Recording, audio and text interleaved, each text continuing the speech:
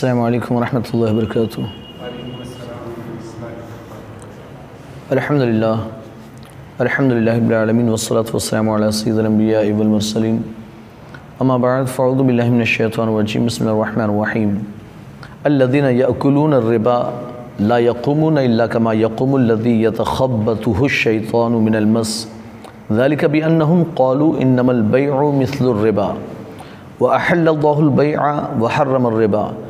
فمن جاءه موعظة من ربه فانتهى فله ما سلف. وأمره إلى الله ومن عاد فأولئك أصحاب النار.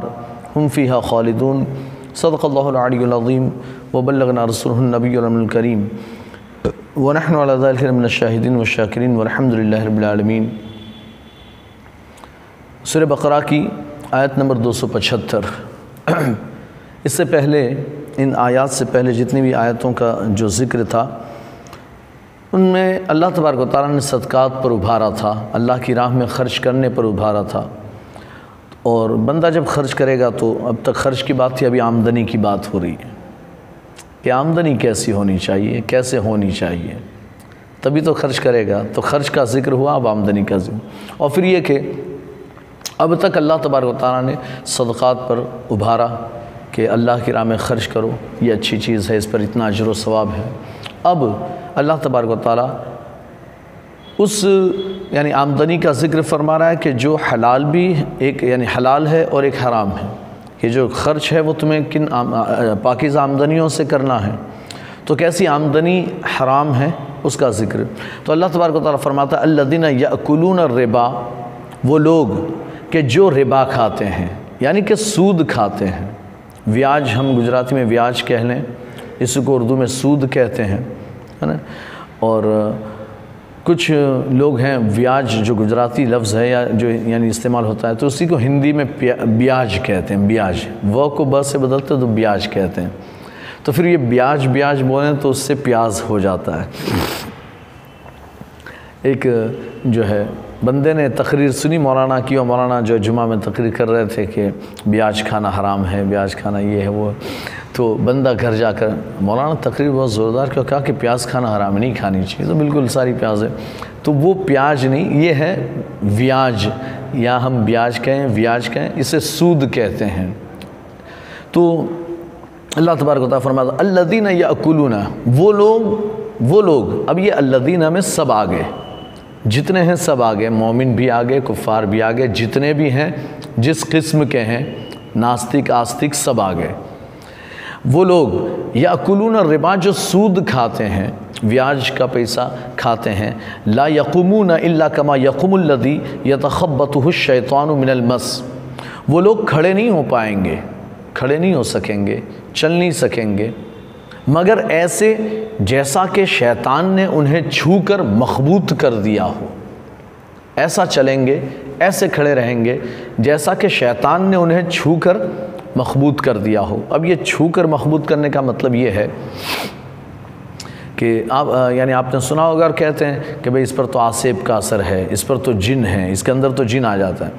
آدمی نارمل ہے، ہمارے ساتھ بیٹھتا، اٹھتا، کھاتا، پیتا، بات چیت کرتا، ہنستا، کھیلتا بچہ ہے یا آدمی ہے، عورت ہے، جو بھی ہے، لیکن جس وقت اس پر وہ اثر آتا ہے، وہ جن اس کے اندر آتا ہے، تو پھر دیکھو اس کی کیا حالت ہوتی ہے۔ وہ دیوانہ یعنی پاگلوں جیسے حرکتیں کرتا ہے۔ آپ یعنی آپ نے بہت سوں کو ایسے کو دیکھا ہوگا، سر دھون رہے ہوتے ہیں۔ ہے نا؟ یا چل رہے ہیں تو بھی ان کو ہوش نہیں ہے کہ وہ کہاں جا رہے ہیں۔ گھر میں بھی ہاں ہو کر رہے ہوتے ہیں اور ایسی حرکتیں کر تو کہتے ہیں وہ کھڑے نہیں ہو پائیں گے۔ اور کھڑا ہونا، چلنا دونوں آ گیا لا یقومو، لا یقومون، وہ کھڑے نہیں ہو پائیں گے، چل نہیں پائیں گے۔ مگر ایسے جیسے کہ انہیں شیطان نے چھو کر مخبوط کر دیا ہو، مخبوط الحواس کر دیا ہو، عقلیں بگاڑ دی ہو، دیوانہ بنا دیا ہو، پاگل بنا دیا ہو، ایسے چلیں گے۔ اب یہ چلنا کہاں ہے؟ یہ کھڑا ہونا کہاں ہے؟ کہتے ہیں میدان محشر میں۔ میدان محشر میں۔ یہاں تو کھا پی کر مست رہیں گے اور بڑی خوشی ہوگی کہ بہت مال آ رہا ہے۔ ڈبل، ٹریبل، چوبل، پتہ نہیں کتنا کھا رہے ہیں۔ تو یہاں تو خوشی ملے گی اور یعنی یہ رہے گا کہ ہم بہت کما رہے ہیں، بہت کما رہے ہیں، تجوریاں بھر رہی ہے لیکن حالانکہ اس سے مال بڑھتا نہیں ہے۔ اس سے پہلے جو ذکر تھا کہ صدقات کرو، صدقہ دو، تو رب فرماتا ہے یہ صدقہ کرنے سے بظاہر لگتا ہے کہ مال گھٹ رہا ہے، لیکن گھٹتا نہیں ہے اللہ تعالیٰ مال میں برکتیں عطا فرماتا ہے مال بڑھ جاتا ہے۔ اسی طرح سود میں بظاہر لگتا ہے کہ مال بڑھ رہا ہے، اللہ فرماتا ہے مال بڑھتا نہیں، وہ مال گھٹتا ہے۔ مال گھٹتا ہے، وہ کم ہوتا ہے، نقصان ہوتا ہی ہے یعنی مال کم ہی ہوگا، لیکن بظاہر دکھتا ہے کہ مال بڑھ رہا ہے۔ وہ کہاں کہاں چلا جائے گا وہ پھر بعد میں بندے کو پتہ چلے گا کہ کیسے کیسے اس کا مال نکلتا ہے، کہاں کہاں جاتا ہے۔ بہرحال، تو سودی یعنی کہ کاروبار جو لوگ کرتے ہیں اور جو ویاج کا یعنی مال کھاتے ہیں، تو اللہ تعالیٰ فرماتا ہے، قیامت میں میدان محشر میں جب وہ اپنی قبروں سے اٹھیں گے، تو وہ چل نہیں پائیں گے، کھڑے نہیں رہ پائیں گے، لڑک رہے ہوں گے۔ گرتے پڑتے چل رہے ہوں گے۔ وہ چل رہے ہوں گے، گرتے پڑتے، کبھی ادھر لڑک جائیں گے، کبھی ادھر لڑکیں گے، کبھی ادھر جا رہے ہیں، کبھی سیدھا گر پڑے۔ ایسے یعنی اب جب اپنی خبروں سے نکلیں گے تو کوئی یعنی کہ سواری پر سوار ہو کر آئے گا۔ کچھ ایسے بھی بندے ہوں گے جو سواریوں پر سوار ہو کر قبروں سے میدان محشر کی طرف آئیں گے۔ کچھ ایسے ہوں گے دوڑتے دوڑتے آئیں گے، کچھ چلتے چلتے آئیں گے، یہ ایسے ہوں گے جو گرتے پڑتے آئیں گے میدان محشر میں۔ گرتے پڑتے آئیں گے۔ اور ایک حدیث مبارکہ اللہ کے رسول صلی اللہ علیہ وسلم کی سرکار اشاد فرماتے ہیں کہ میں نے یہ معراج کی حدیث میں سرکار اشاد فرماتے ہیں، جو معراج کی بڑی لمبی چوڑی حدیث ہے، اس میں سرکار فرماتے کہ جب میں گیا تو میں نے یہ دیکھا، وہ کہتے ہیں کہ میں نے سود خوروں کو دیکھا، ان پر عذاب ہو رہا کہتے ہیں ان کے پیٹ، میں نے سود خوروں کو دیکھا یعنی ویاج کھانے والوں کو، کہ ان کے پیٹ جو ہیں کوٹھڑیوں جیسے تھے۔ کوٹھڑی کا مطلب چھوٹے چھوٹے کمرے۔ چھوٹے چھوٹے کمرے۔ کہتے ہیں ان کے پیٹ کوٹھریوں جیسے تھے، اور وہ کھڑے بھی نہیں رہ پاتے تھے۔ اس کے وزن سے گر جاتے تھے۔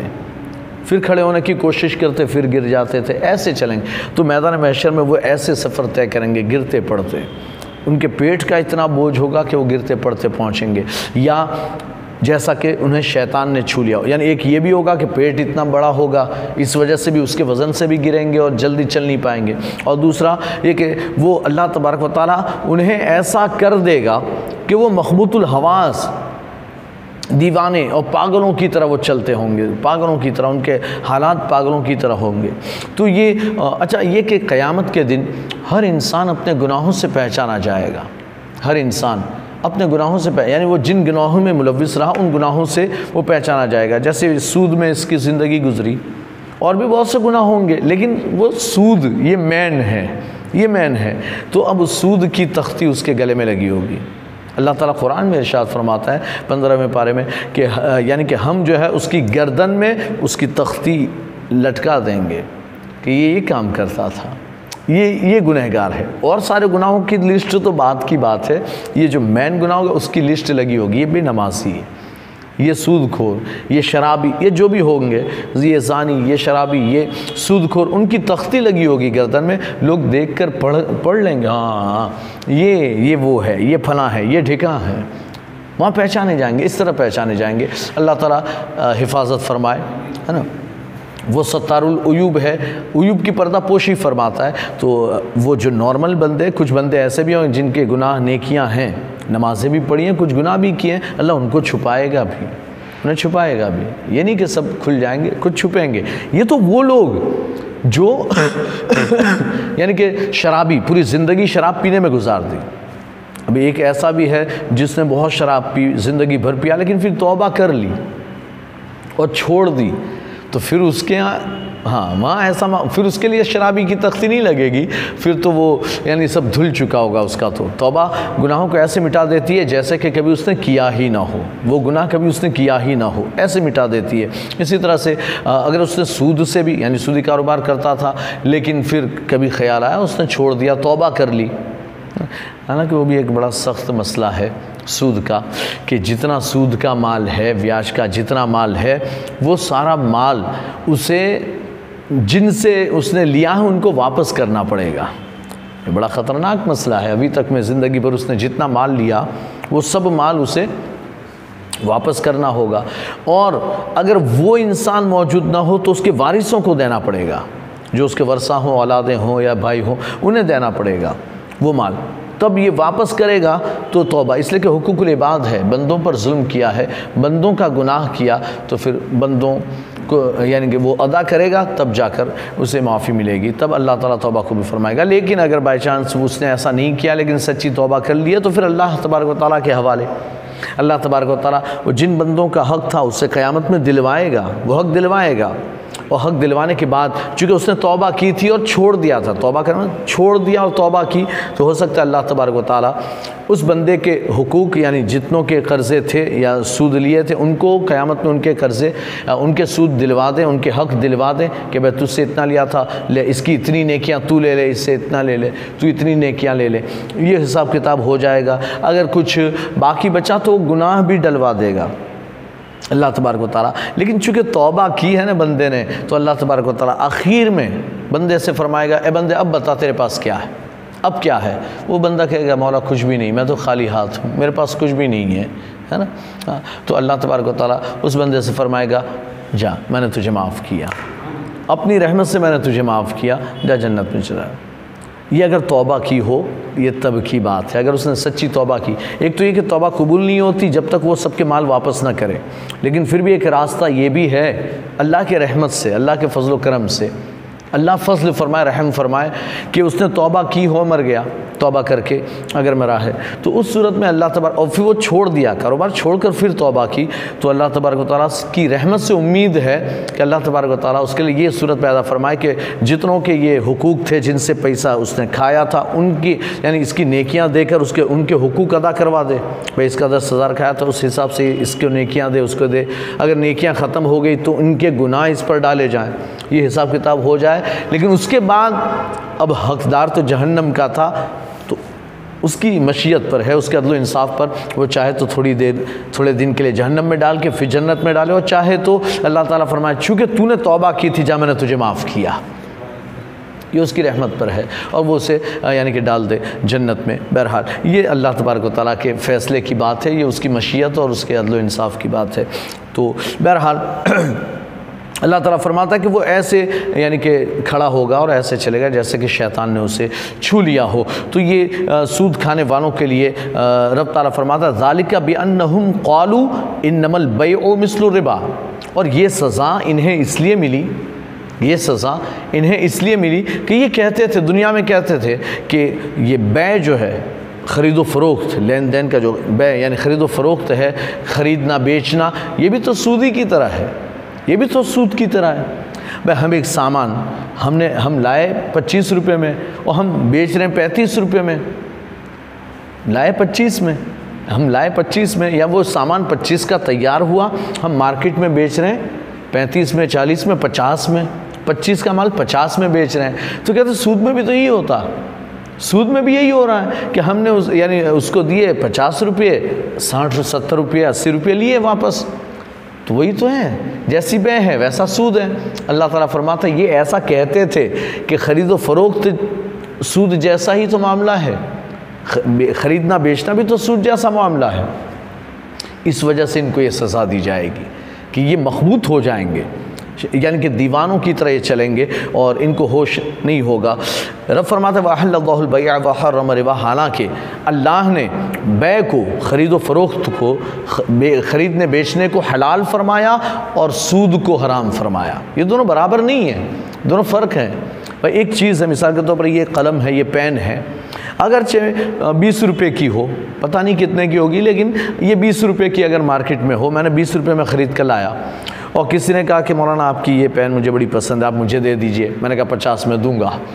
پچاس میں۔ تو میں لایا تھا بیس میں، لیکن میں نے اس کو کہا پچاس میں دوں گا۔ آپ نے کہا ٹھیک ہے، آپ نے پچاس دیے۔ میں نے پچاس کی نوٹ جیب میں رکھی اور پین آپ کو دے دی۔ تو یہ سود نہیں ہے، یہ کاروبار ہے۔ بھائی، کاروبار کیا ہی جاتا ہے منافع کے لیے۔ اب اگر ایک چیز مثال کے طور پر ایک بندے نے بسکٹ یا پاؤں بنائے یا کوئی بھی چیز کوئی آئٹم بنائی یا آپ کسی سے مال لے کر آئے، وہ مال آپ کو سو میں پڑا اور آپ بیچیں بھی سو میں، تو آپ کا یہ پورا دن دکان پر بیٹھنے کا فائدہ کیا؟ تو بھائی سو میں لائے اور ایک سو بیس میں، ایک سو دس میں، ڈیڑھ سو میں۔ اگر آپ بیچ رہے ہیں، تبھی جا کر تو آپ کا گھر چلے گا اور آپ کو دکان میں بیٹھنے کا فائدہ حاصل ہوگا۔ یہ یہ منافع، یہ لینا جائز ہے۔ لیکن سود میں ایسا نہیں ہوتا۔ سود میں کیا ہوتا ہے کہ بندہ قرض دیتا ہے۔ سامان نہیں بیچتا ہے، قرض دیتا ہے۔ یعنی کہ آپ کے پاس روپیہ پیسہ ہے تو آپ نے اس کو روپیہ دیا کہ ٹھیک ہے، ابھی تجھے ضرورت ہے۔ آپ ضرورت مندوں کو، غریبوں کو پیسہ دیتے ہیں کہ ٹھیک ہے، ابھی تو لے جا۔ لیکن تو مجھے اتنے پرسنٹ یا اتنا واپس کرنا، پچاس ہزار لے جا، ساٹھ ہزار مجھے چھ مہینے بعد واپس کرنا۔ مثال کے طور پر یا ایک مہینے بعد واپس کرنا۔ تو اب یہ جو دس ہزار، پچاس ہزار کے بدلے پچاس ہزار پچاس ہزار کے بدلے پچاس ہزار، یہ تو ادلا بدلی ہوئی۔ لیکن وہ جو دس ہزار ہے، اس کے بدلے میں کچھ بھی نہیں ہے۔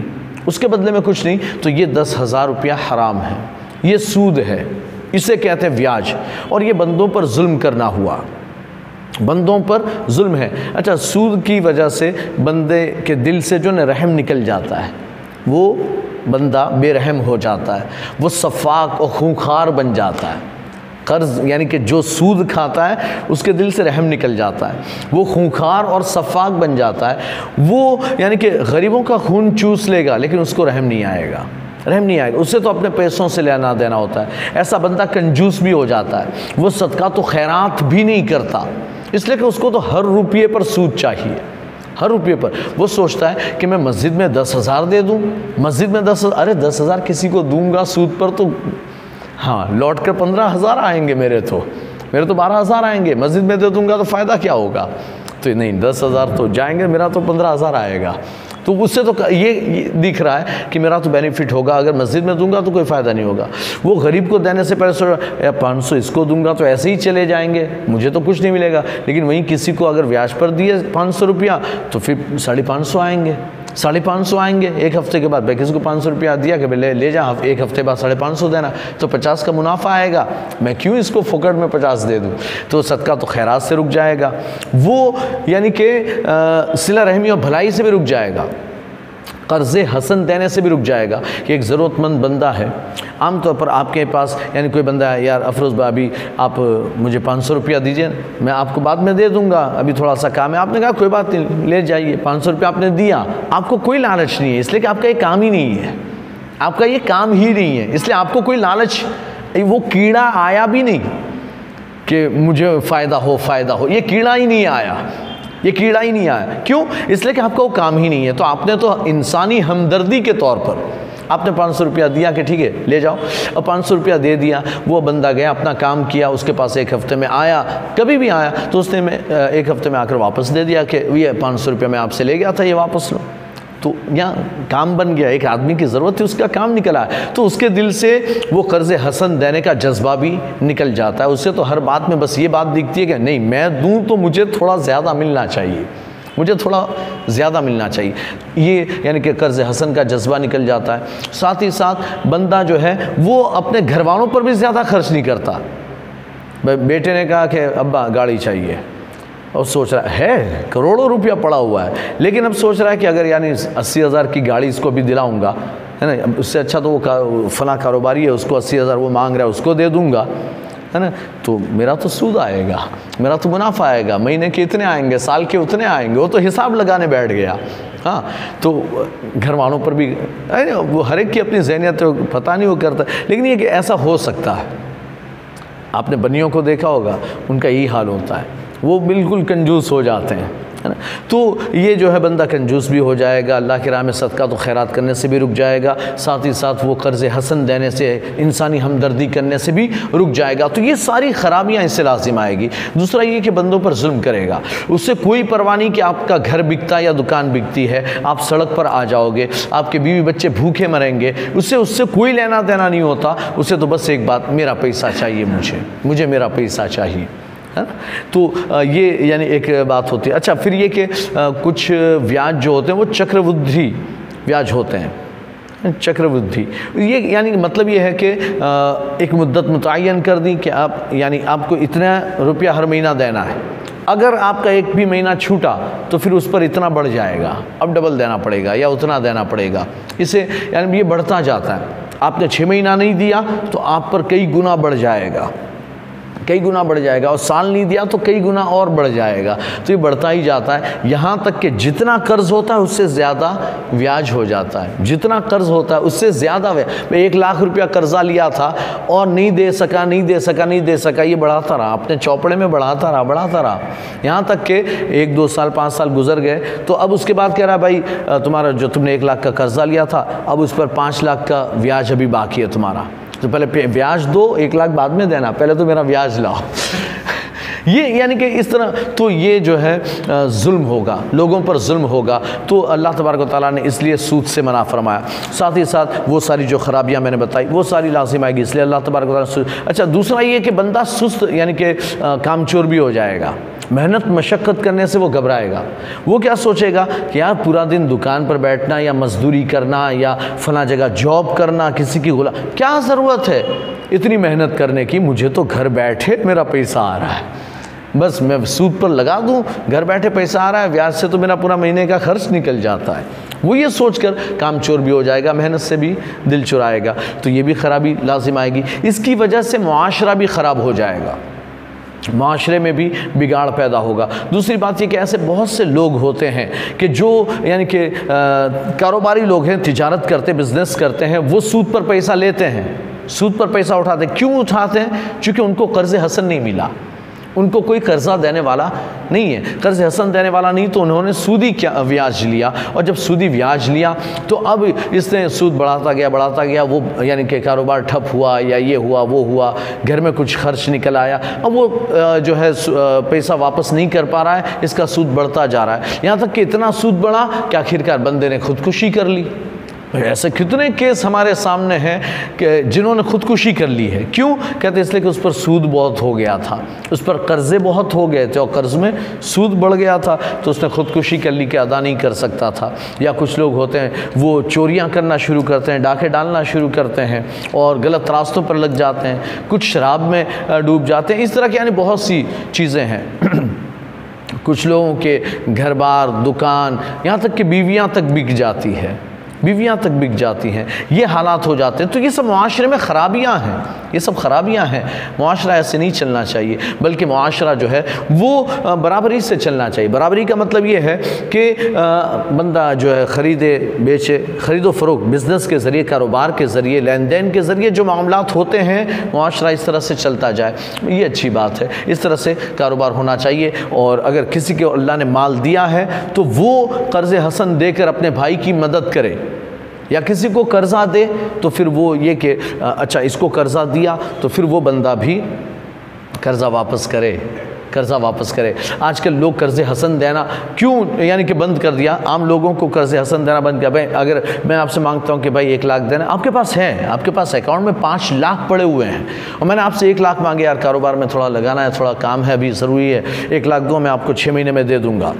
ویسے بھی وہ پانچ لاکھ بینک میں پڑے رہنے ہیں۔ آپ کو اس کی ابھی اتنی ضرورت نہیں ہے آپ تو صرف سیونگ کر رہے ہیں۔ تو آپ کے پاس ہے، آپ ایک لاکھ دے سکتے ہو، لیکن پھر بھی نہیں دے رہے ہو۔ کیوں؟ یہ سوچ رہا ہے بندہ کہ اگر لاکھ روپیہ بڑی رقم ہے، اگر اس کو دیا اور اس نے نہیں دیا تو؟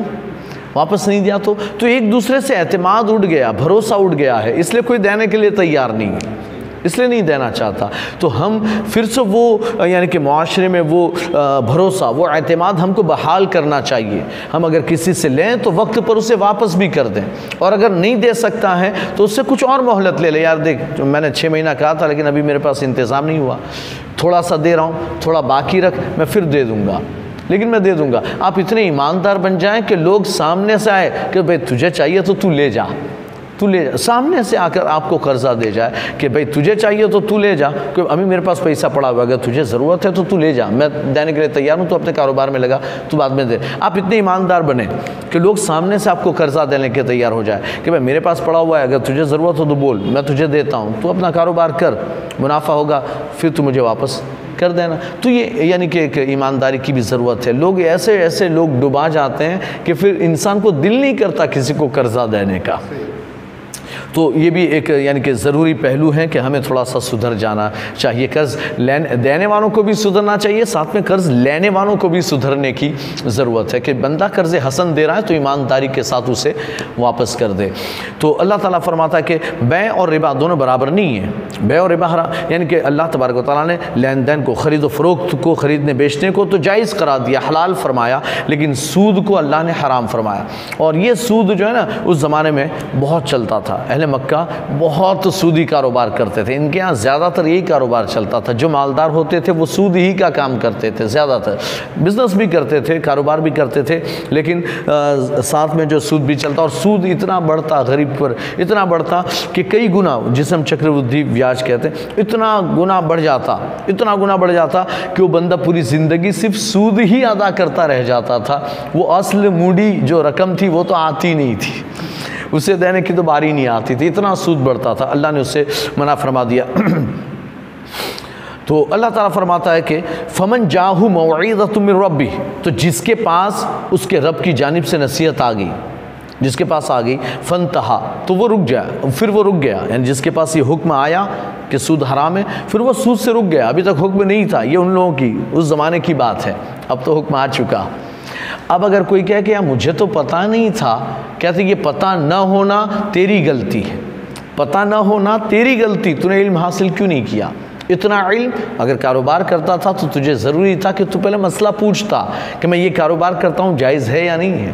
اس طرح سے، اس طریقے سے کاروبار کرتا ہوں تو اس طریقے سے کاروبار کرنا جائز ہے یا نہیں؟ یہ آپ کو پہلے پوچھنا چاہیے۔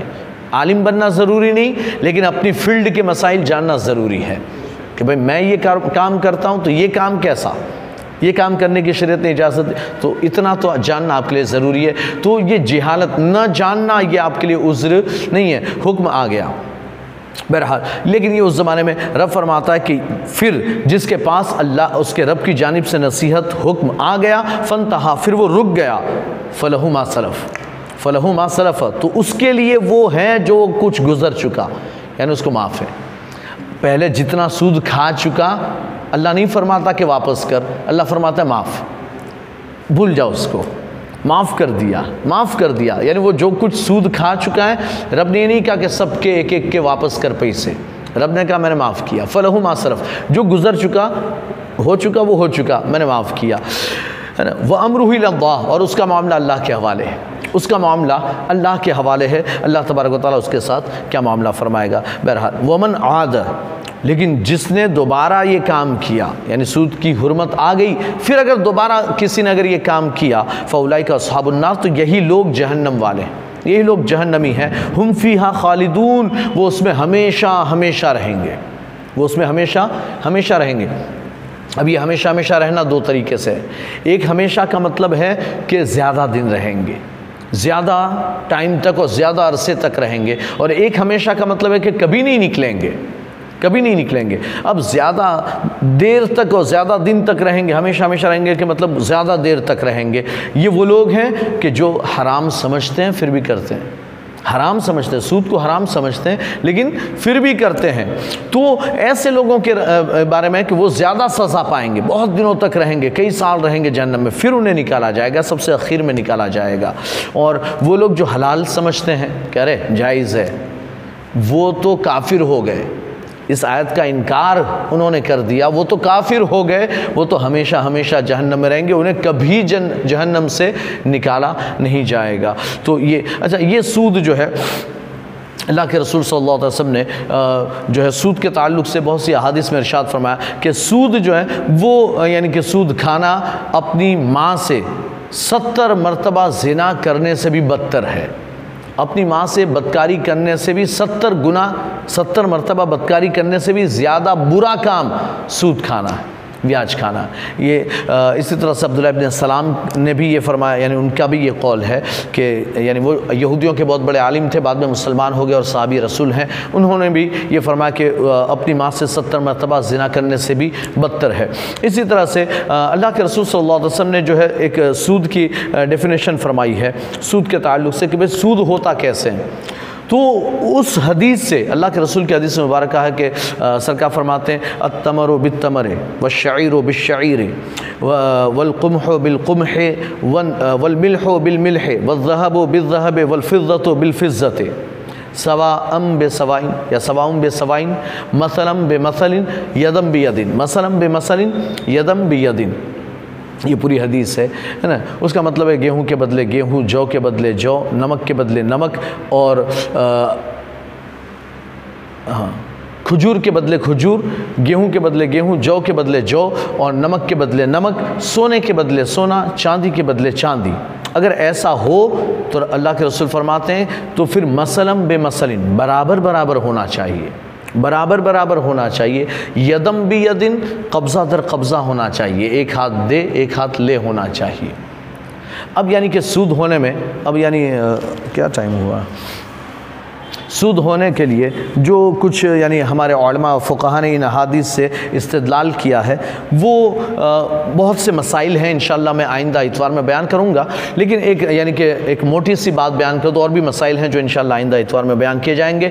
وہ یہ کہ سود میں یعنی کہ سود کب نہیں ہوگا اور سود کب ہوگا؟ کب ہوگا اور کب نہیں ہوگا؟ ایک جو گھاڑی اور بڑی سی مثال وہ یہ ہے کہ دونوں طرف سے برابر برابر ہونا چاہیے۔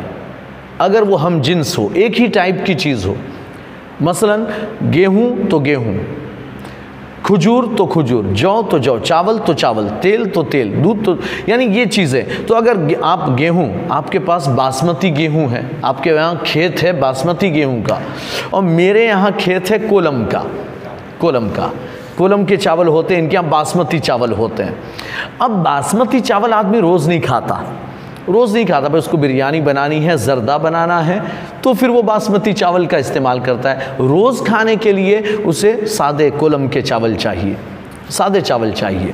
اب میں اس ان کے یہاں جو باسمتی کا کھیت ہے، تو ان کے یہاں کھیتی ہوئی تو سو کئی یعنی کہ ٹن و ٹن من و من ان کے یہاں باسمتی چاول ہوئے۔ اور میں نے کولم کی کھیتی میرے یہاں ہے تو میرے یہاں من و من کولم کے۔ اب میں پورا سال سارے چاول نہیں کھانے والا ہوں، تھوڑے میرے لیے نکالے، باقی سب تو میں بیچنے والا ہوں۔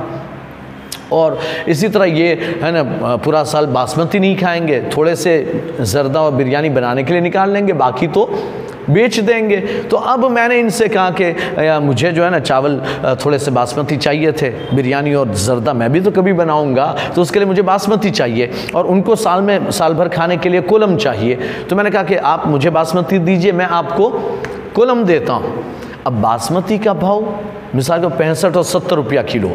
پینسٹھ روپیہ، ستر روپیہ کلو۔ اور کولم کا بھاؤ مثال کے طور پر کتنا ہوگا نہیں پتا، لیکن مثال کے طور پر چالیس پستالیس روپیہ کلو پستالیس روپیہ کلو۔ یعنی چالیس روپیہ کلو کولم، وہ ستر روپیہ کلو باسمتی۔ تو تیس روپے کا فرق ہے۔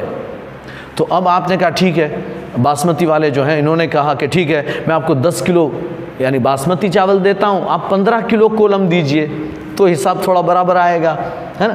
اللہ تعالیٰ، اللہ کے رسول فرماتے یہ سود ہے۔